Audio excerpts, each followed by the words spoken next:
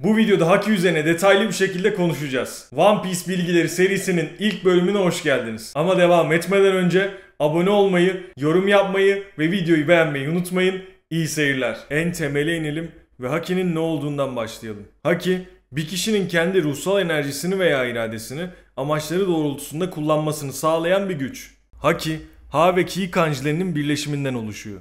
Ha kanjisi, Fatih, egemen ve hırslı biri gibi anlamlara geliyor. Ki ise kişinin iradesi, yaşam gücü veya ruhsal enerjisi anlamlarında kullanılıyor. Haki'yi kullanarak başkalarının ruhani enerjisini sezebilir, hareketlerini tahmin edebilir, kendinizi koruyucu bir enerjiyle kaplayabilir veya bir başkasının iradesini kendi iradeniz ile baskılayabilirsiniz. Haki'nin genel olarak ne anlama geldiğini anladığınıza göre kaç farklı türe ayrıldığına geçebiliriz. Haki 3 farklı türe ayrılıyor.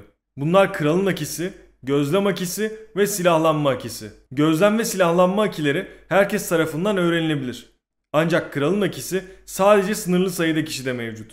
Haki türlerinin kullanım alanları oldukça geniş ve basit formlarının yanı sıra ileri seviyede kullanım şekilleri de mevcut. Ve bu ileri seviyedeki halleri herkes tarafından kullanılamıyor.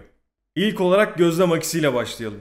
Bu haki kullanıcısının etrafını daha iyi gözlemlemesi için bir altıncı his veriyor. Gözlem akisiyle canlıların varlığını, gücünü veya duygularını anlayabilirsiniz. Bunun yanı sıra gözlem akisinin temel kullanımında limitli bir ön sezi ile karşınızdaki kişinin yapacağı saldırıyı önceden tahmin edebiliyorsunuz. Gözlem akisini daha iyi anlamanız için bazı örnekler vereceğim. Usopp bu akiyi kullanarak Luffy, Love ve Chopper'ın auralarını kilometrelerce ötede bir yerde olmalarına rağmen sezebilmişti. Bunun yanı sıra Fujitora kör olmasına rağmen etrafındakileri gözlem akisiyle sezip görebiliyor. Bir diğer örnek ise Rayleigh'nin Rusukaina'da Luffy'den güçlü olan 500'den fazla yaratık olduğunu sezmesiydi. Daha sonrasında yine bu akiyi kullanarak bir filin saldırılarından gözü kapalı bir şekilde kaçtı. Elbette ki savaşırken gözlem akisini şaşırtmanın veya üstesinden gelmenin yolları var. Eğer rakipten daha hızlı ve güçlüyseniz ya da düşünmeden saldırıyorsanız bu akinin etkisi oldukça azalıyor. Gözlem akisinin bir de ileri seviyesi var. Buna gelecek görüşü diyebiliriz. Gelecek görüşü sayesinde kullanıcı gelecekten bir kesit görebiliyor. Bu basit seviyedeki sadece ön seziyle tahmin etmeden çok daha farklı bir durum. Kesin olarak ne olacağını görüyorsunuz ve bu sayede ona göre bir tepki verebiliyorsunuz. Ancak Rayleigh'e göre bu ileri seviyeyi çalışarak öğrenmek çok zor ve sadece çok güçlü bir düşmanla savaşırken Haki'nin gelişmesiyle öğreniliyor. Katakuri daha önce Luffy ile yaptığı savaşta bu özelliği kullanmıştı. Savaş sırasında vücuduna alacağı darbeleri önceden görüp bunun karşılığında darbeyi yiyeceği yerlerdeki vücudunun parçasını şeytan meyvesinin özelliği sayesinde ortadan kaldırıyordu.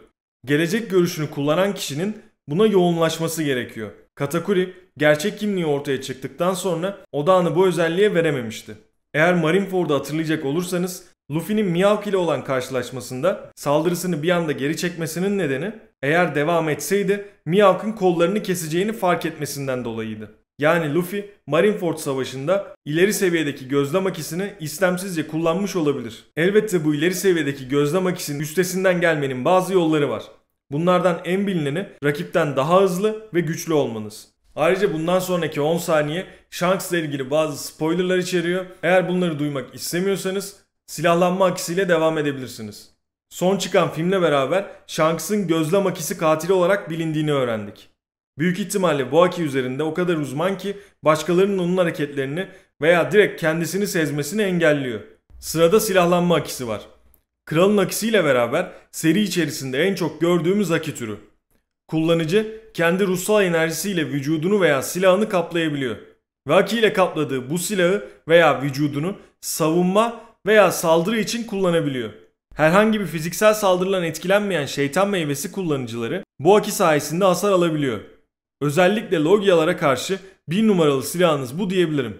Burada önemli olan kısım silahlanma akisini kullanarak vücudunuzu veya silahınızı daha dayanıklı bir hale getirebiliyorsunuz. Aynı şekilde saldırılarınızı daha güçlü yapmak için de kullanabilirsiniz. Özellikle Grand Line'e girdikten sonra kesinlikle sahip olunması gereken bir aki türü. Ayrıca bu akiyi anime içerisinde parlak siyah rengiyle ayırt edebilirsiniz. Diğer aki türlerinde olduğu gibi silahlanma akisinin de bir ileri seviyesi var. Normalde silahlanma akisi rakibe dışarıdan fiziksel hasar vermenizi sağlarken ileri seviyede kullanımında rakibin vücudunun içine sızıp ona içeriden zarar veriyor. Bir diğer kullanım şekli de yayılım. Kullanıcılar Aki'yi vücudunun belirli bir kısmında yoğunlaştırıp dışarıya doğru yayılım yapıyorlar. Ve bu sayede ani bir saldırı gerçekleştirebiliyorlar. Üstelik bunu yaparken rakibe herhangi bir temasta bulunulmuyor. Daha önce bu Aki kullanımını Rayleigh, Akainu, Kuzan ve Sentomaru gibi karakterlerde gördük. Bu özelliği avucunuzdaki görünmez bir bombayı patlatmaya ve rakibin bu patlamanın etkisiyle geriye doğru hasar alıp savrulmasına benzetebilirsiniz. Ve sıra geldi belki de herkesin sevdiği Aki türüne. Kralın Aki'si. Bu Aki ile kullanıcı kendi irade gücünü kullanarak başkalarının irade gücünü bastırabilir. Zayıf insanların kralın Aki'sinin karşısında bilinçlerini kaybedip bayılmaları oldukça sık görülen bir durum.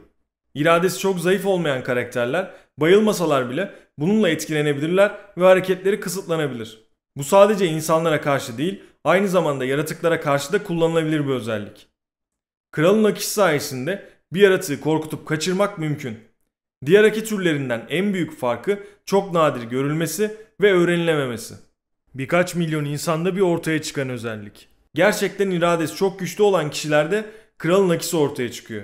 Bu insanlar pes etmeyen ve kendi hedefleri doğrultusunda durmadan hareket eden kişiler. Kralın akisinin ileri seviye kullanımı silahlanma akisinin kullanımına çok benziyor.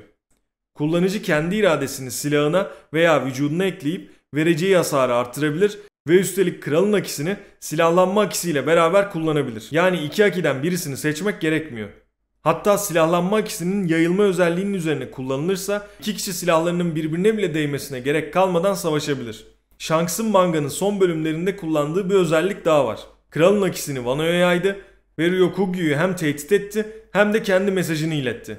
Bu sırada Ryokugyu, Shanks'ın akisinden dolayı paralize olmuş ve acı çekmiş gibi bir tepki verdi. Kralın akisini kullananlarda bile ileri seviye kullanım çok rastlanan bir şey değil. Umarım bu rehber size Aki'yi anlamanız konusunda yardımcı olmuştur. Bir dahaki videolarda görüşmek üzere. Kendinize iyi bakın, hoşçakalın.